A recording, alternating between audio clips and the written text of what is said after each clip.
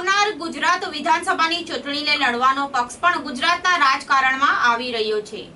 રાષ્ટ્રીય સમાજ પક્ષ દ્વારા ગુજરાત વિધાનસભાની ચૂંટણીમાં ઉમેદવારી કરવા તૈયારી બતાવી છે, જેને પગલે સુરતમાં આ પાર્ટીના ઉમેદવારની ભરતી શરૂ કરી દેવાઈ છે અને સુરતના આઠ ધારાસભ્યોની સીટ માટે ઉમેદવારો નક્કી કર્યા બાદ રાજ્યની તમામ સીટના ઉમેદવારો નક્કી કરવા તૈયારી બતાવી છે.